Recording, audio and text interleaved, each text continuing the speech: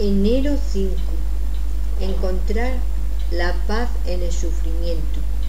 Con el sudor de tu rostro comerás el pan hasta que vuelvas a la tierra, porque de ella fuiste tomado, pues polvo eres y al polvo volverás. Génesis 3:19. Lectura adicional recomendada Filipenses 3. Quienes se someten mansamente a sus sufrimientos presentan una obediencia aceptable a Dios y cargar con esta cruz junto con una mayor conciencia del pecado les infunde humildad. Ciertamente, solo podemos presentar tal sacrificio ante Dios por medio de la fe. Sin embargo, los fieles también se esfuerzan en ganarse la vida con la ventaja de tener un estímulo para arrepentimiento y adaptarse a la multiplicación de la carne. A menudo Dios sustrae parcialmente la maldición a sus hijos para que no se desmoronen bajo su pesada carga.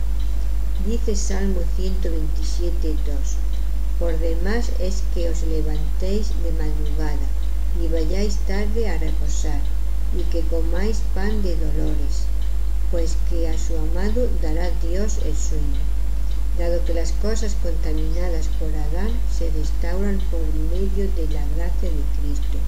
Los piadosos sienten con mayor intensidad que Dios es bueno y disfrutan de la dulzura de su bondad paternal. Sin embargo, debido a que, aun en el mejor de los casos, la carne debe ser sojuzgada, no es raro que los piadosos se fatiguen con la dureza de su trabajo y pasen hambre.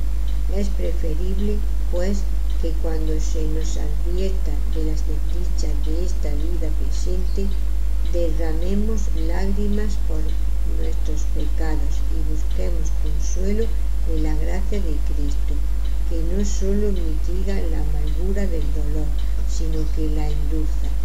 Meditación. Cuando nos sentimos abrumados por el trabajo, la enfermedad u otras dificultades, presentar esas cosas a Dios en oración nos sirve de ayuda. ¿Por qué es esto así? ¿Cómo nos enseña misericordiosamente Cristo, nuestro Salvador, a ser humildes, además de disfrutar de la dulzura de su presencia? Enero 5. Si fueras obediente por mil años, no serías más aceptado que cuando creíste por primera vez. Tu aceptación está basada en la justicia de Cristo, no en la tuya. La verdad es que el pecado es más desastroso de lo que pensamos y la gracia es más asombrosa de lo que creemos. Alguien que realmente entiende lo que la escritura dice sobre la naturaleza comprensiva devastadora del pecado. Sabe que no hay nada que uno pueda hacer para alcanzar el estándar perfecto de Dios. La idea de que un ser caído pueda ser aceptado por Dios mediante sus propios méritos tiene que ser la ilusión más descabellada de todas. Aún así, todos tendemos a pensar que somos más justos de lo que en verdad somos cuando pensamos eso, hemos emprendido la ruta hacia la ilusión de que tal vez no somos tan malos ante los ojos de Dios. Es por eso que Romanos 3:20 es tan importante. Pablo escribe, nadie está justificado en presencia de Dios por hacer las obras que exige la ley. Si oraras en todos y cada uno de los momentos de tu vida, tus oraciones no serían suficientes para ganar el favor de Dios.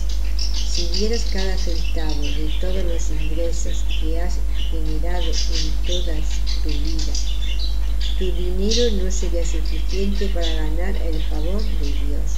Si cada palabra que ha salido de tu boca fuera hablada con las motivaciones más puras, nunca serías capaz de lograr reconciliarte con Dios.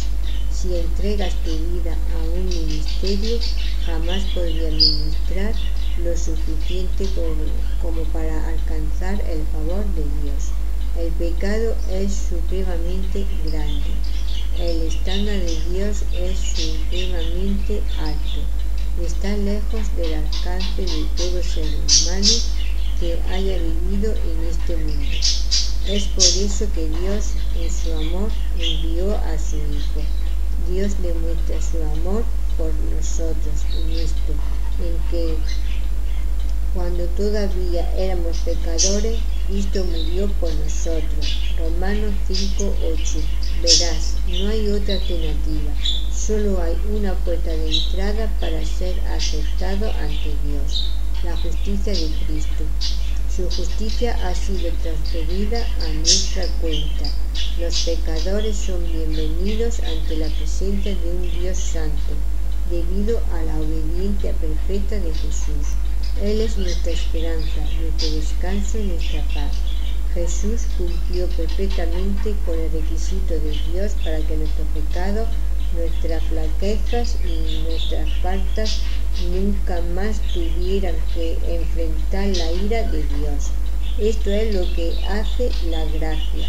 Entonces, como hijo de la gracia, debemos obedecer como, como un servicio de adoración, en vez de un intento desesperado por lograr lo imposible, merecer el favor de Dios por nuestra cuenta.